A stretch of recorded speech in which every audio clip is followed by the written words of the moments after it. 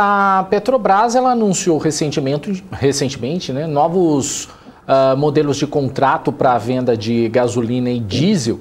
E a empresa ressaltou que isso não vai mudar na política de preços dos combustíveis.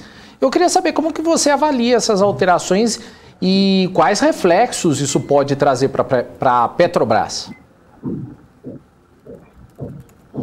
É, acho que na semana passada a gente teve muita preocupação né, em torno da Petro de novo, né, o combustível voltando a sete reais, teve algumas campanhas aí da própria Petro com o governo de explicar um pouco esse preço, né?